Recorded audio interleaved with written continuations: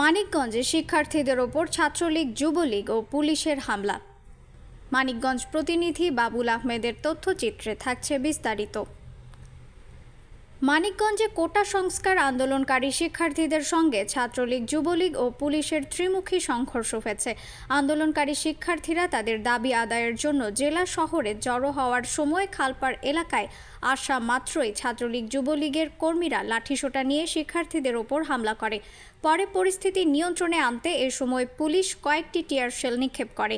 বৃহস্পতিবার আঠারো জুলাই বেলা সাড়ে দশটার সময় জেলা শহরের খালপাড়া এলাকায় এ ত্রিমুখী সংঘর্ষের ঘটনা ঘটে। এতে আন্দোলনকারী বেশ কয়েকজন শিক্ষার্থী আহত হয়। আন্দোলনকারী শিক্ষার্থীরা সকাল থেকেই জেলা শহরের বিভিন্ন স্থানে জড়ো হতে থাকে। পরে সকাল সোয়া দশটার দিকে বাস স্ট্যান্ড থেকে জেলা শহরে মিছিল নিয়ে প্রবেশ করার চেষ্টা করে। মিছিলটি খালপাড় এলাকায় আসার পরই ছাত্রলীগের কর্মীরা শিক্ষার্থীদের ওপর হামলা করে ছত্রভঙ্গ করে দেয়। শিক্ষার্থী ও ছাত্রলীগ যুবলীগের মধ্যে ধাওয়া পাল্টা হয়। এ সময় শিক্ষার্থীরাও ছাত্রলীগ যুবলীগের কর্মীদের লক্ষ্য করে ইট পাটকেল ছুঁড়ে মারে।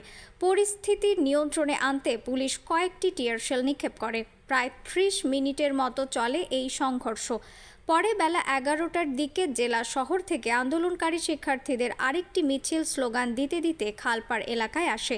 এ সময় শিক্ষার্থীদের মিছিলে বাধা দেয় ছাত্রলীগ ও যুবলীগের কর্মীরা। পরে শিক্ষার্থীদের কাছ থেকে ব্যানার ছিনিয়ে নিয়ে হামলা করে ছাত্রলীগ ও যুবলীগের কর্মীরা।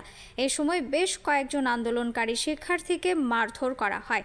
ছাত্রলীগ ও যুবলীগের কর্মীদের হামলায় কোটা সংস্কার আন্দোলনকারী শিক্ষার্থীরা ছত্রভঙ্গ হয়ে যায়। News desk Rifat Ara Islam Bhorer Akash.